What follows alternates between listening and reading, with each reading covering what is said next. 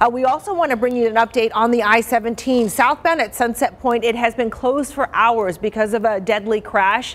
It just reopened just minutes ago, so that's a little bit of good news. But we want to turn it over to Bruce Haffner, the Lions Roofing News Chopper, because he's got some new information about this crash. It was a bad one, right, Bruce? Yeah, it certainly is. And let me give you a shot because right now, here's what's going on. They are just getting ready to let all the uh, backed up traffic on the freeway continue southbound on I-17, and that's the turnoff at the Sunset Point. But look at this backup. It's been there all morning since about 3 a.m. coming down the mountain as you hit Sunset Point, that rest area there, Gina, just above Black Canyon City.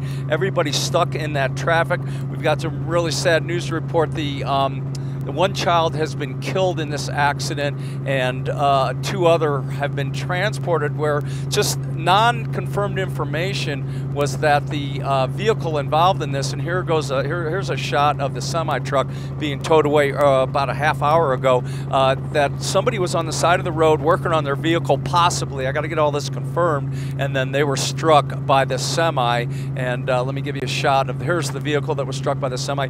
Two people transported in serious condition condition from this accident, and then we are told by the Department of Public Safety a child has been killed in this accident. So that's what it looks like from the Lions Roofing News Chopper. Uh, the traffic uh, still backed up here. It's going to probably uh, start right as we speak.